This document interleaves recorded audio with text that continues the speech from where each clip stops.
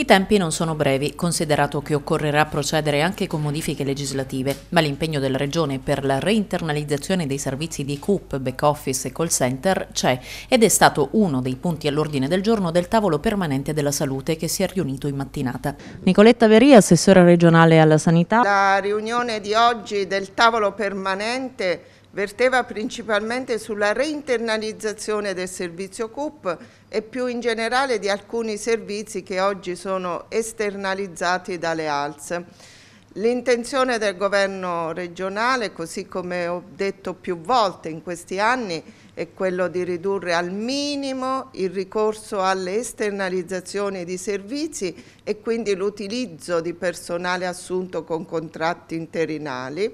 Certo che per eh, centrare questi obiettivi eh, abbiamo accelerato le procedure di stabilizzazione del personale che aveva i requisiti previsti dalla normativa nazionale, ma soprattutto abbiamo valorizzato nei punteggi delle prove di concorso tutte le esperienze maturate in sanità dai dipendenti interinali oppure dalle cooperative esterne.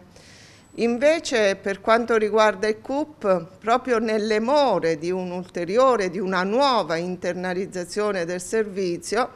che comporterà inevitabilmente tempi non brevi a causa della necessità di procedere anche a modifiche legislative, abbiamo garantito il massimo impegno da parte della Regione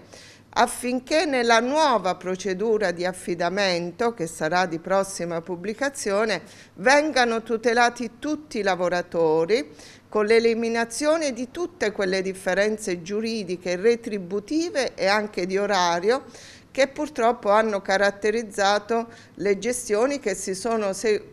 avute, che si sono susseguite finora. Invece per quanto riguarda la stabilizzazione proprio del personale sanitario? Sì, sempre al fine della stabilizzazione nelle ALS è in corso la ricognizione di tutto il personale del ruolo sanitario e sociosanitario anche eh, qualora non più in servizio, che siano stati però reclutati a tempo determinato con procedure concorsuali, quindi tutte le selezioni avvenute fino al 30 giugno 22 e che sono in carico almeno sei mesi dal 31 gennaio al 30 giugno, quindi tutti questi potranno rientrare in questa eh, stabilizzazione secondo le previsioni della legge 234 del 2021, ossia la legge bilancio del 2022.